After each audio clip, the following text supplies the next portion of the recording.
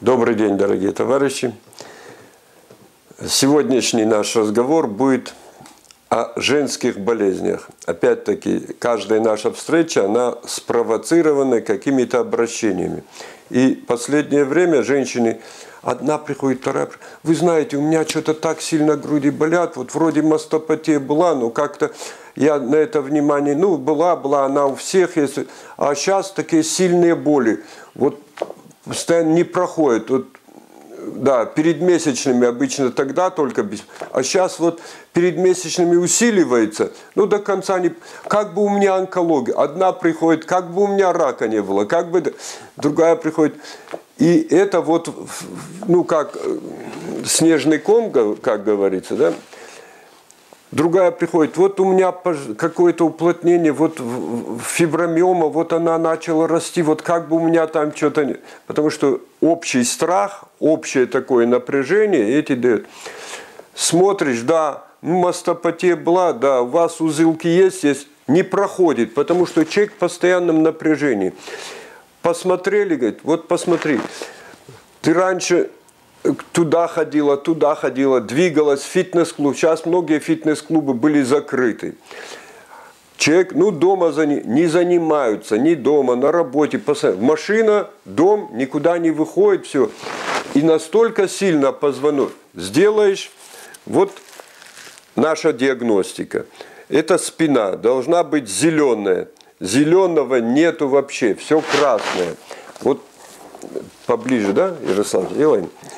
Вот спина, которая должна быть зеленая. Вот это до лечения, это после лечения.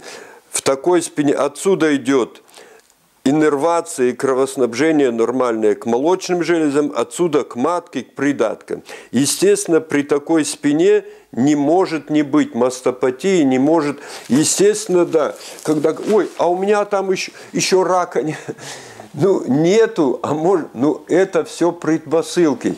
Потому что там, где застой, а мастопатия это что? Застой, переполнение молочных протоков, и они начинают сдавливать окружающую ткань боли. Там, где сдавливается, образуется узелок, образуется узелок а там, где расширяется проток, образуется киста, кистозно-фиброзная мастопатия. И начинают там, вот вам маст... я вот пью вот эти, и мастоденон пью, там и циклоденон пью. Ничего, они отток не нормализуют. Надо убрать компрессию корешков, сосудов, дать отток, и вся мастопатия уйдет там, где нету застоя, там онкологии никогда не будет. То же самое касается и матки.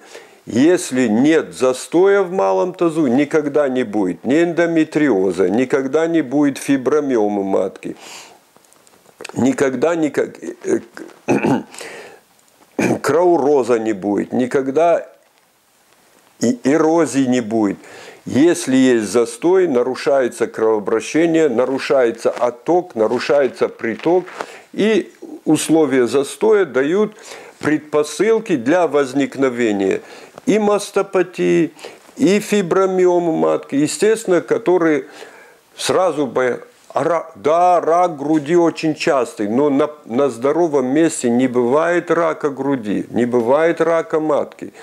Поэтому надо, началось что-то, ну, Пьете неделю попили, две недели попили масло, не помогает. Никогда он вам уже не поможет. Надо найти причину, почему нарушен отток, почему нарушен приток. Найдете эту причину, уберете его, значит все будет нормально. Уйма способов э, диагностировать. Можно сделать тепловизор, можно посмотреть рентген, можно руками посмотреть, можно Э, глубинная радиотермометрия. Есть такое. Она сразу показывает уплотненные места, и дальше уже, ага, есть уплотнение, да, что, откуда это уплотнение идет? То ли с позвоночника, то ли где-то другое что-то, нарушен отток. Убираете отток и убираете все проблемы. Мастопатия уходит, фибромиомы уходят, и все у вас восстановится. Следите, за тем, чтобы было нормальное кровоснабжение ваших молочных желез. здоровый позвоночник, здоровые органы брюшной полости, чтобы давали отток, приток, и будет все нормально. Благодарю за внимание.